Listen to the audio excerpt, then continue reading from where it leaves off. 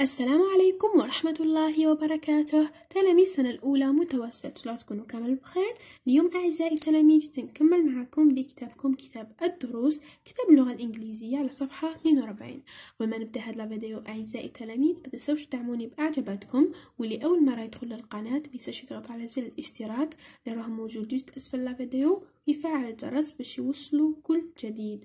توجور أعزائي التلاميذ هذا دائما فضلا وليس أمرا هاي نبدأ على بركة الله قلنا صفحة 42 I learn to integrate I learn معناها أنا أتعلم to integrate معناها لأندمج I learn to integrate أتعلم أن أندمج You are new member of your school blog group Your new friends want to know about you Introduce yourself قالك you are أنت a new member new معناها جديد member معناها عضو of your school blog group مجموعة مدونة مدرستك your school مدرسة blog مدونة group مجموعة your new friends يعني new قلنا جديد friends مثل لاحظوا هنا عندنا s يعني uh, plural جمع your new friends uh, أصدقاؤك الجدد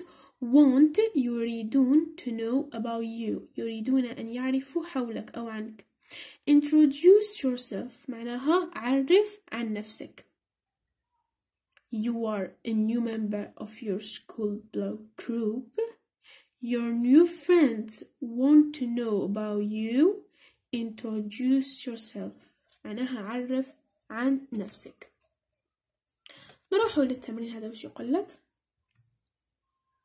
I work with my part partners أنا أعمل مع شركائي.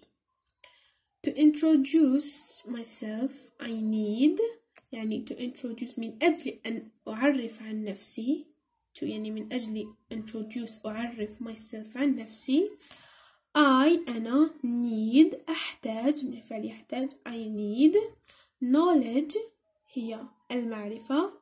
Skills هي المهارات.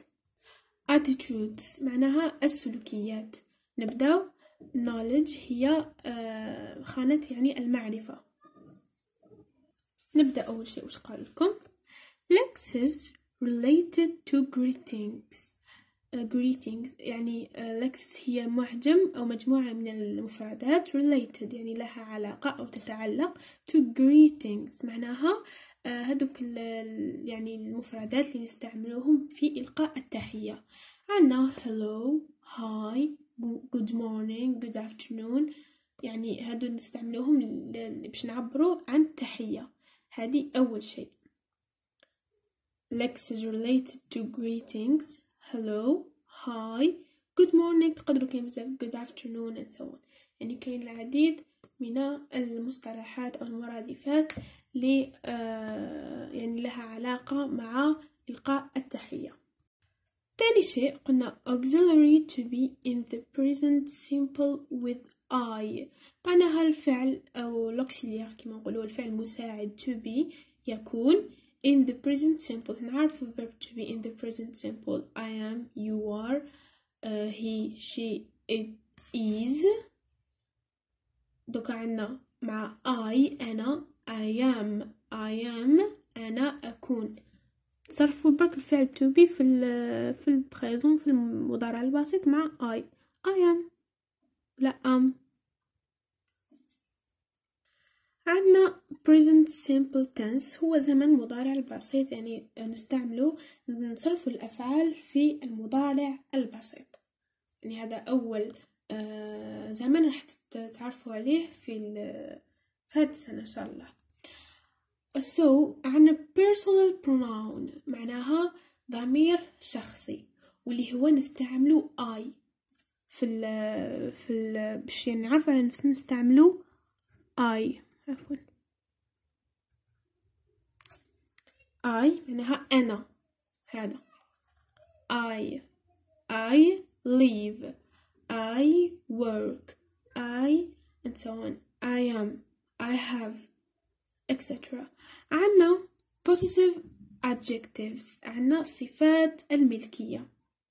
وش نستعملو حنايا صفة الملكية؟ آه في كي نعرفو على نفسنا. my my school my parents نستعملو my يعني خاصة بي my book my pen everything يعني على أي حاجة في أي شيء نستعملو my باش نعرفو على نفسنا نهضرو على to introduce myself I need وش قالك to introduce يعني وش باش نعرف عن نفسي وش نحتاج. I need أحتاج عندنا المعرفة المهارات السلوكيات. مدونا هنايا المفردات اللي يعني نستعملوها باش نعبروا على التحية. بس إحنا كي نبداو أي حاجة نعرفوا عليها par exemple نبداو نعرفوا على نفسنا نروحش directement ونبداو نقولهم hello my name etc هنا مدونا auxiliary to be in the present. مدونا الفعل المساعد يكون في المضارع البسيط مع I. نستعملو بس إحنا نهضروا على نفسنا. نستعملو I أنا. I am أنا أكون for example إبراهيم I am إبراهيم uh, or my name is إبراهيم نستعملو I أنا. Present simple tense هو الزمن المضارع البسيط يعني كاع الأفعال نصرفوها في آه في المضارع. يعني هو سهل تخلي الفعل كما راه مع I. عندنا personal pronoun هو I. بس كو نعرف على نفسي ألو نستعمل I أنا. أنا اللي اسمي هكا أنا اللي ندير هكا أنا آه، أسكن آه، يعني نستعمل I. Possessive adjectives هنا نستعملو my. My معناها آه، الصفة الملكية خاصة بي يعني حاجة حنعرف على نفسي. أنا نعرف على الحاجات الخاصة بي أنا. بهذا الشكل. قلنا possessive adjectives هنا my. كتبوا my. M Y. تقرأ my. عندنا أيضا prepositions هما حروف الجر.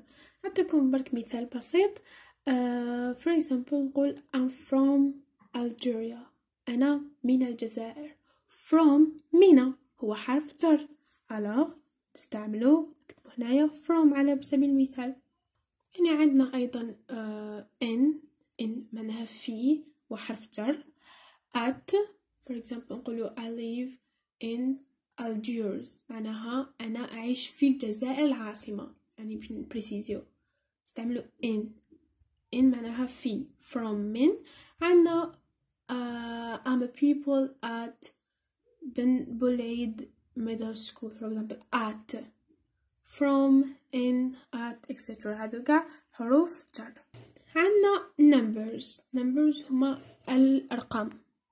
حنا نستعملو في ال في ال كي نعرفو على نفسنا نستعملو باغ اكزومبل العمر تاعنا. I have I am 13 years old. على سبيل المثال أنا عمري 13 سنة. 11 years old. يعني نستعملو الأرقام باش نعرفو على نفسنا.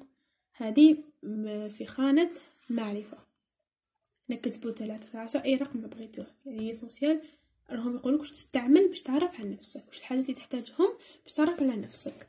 هذه أول خطوة. ننتقلوا لخانة المهارات قلنا skills المهارات.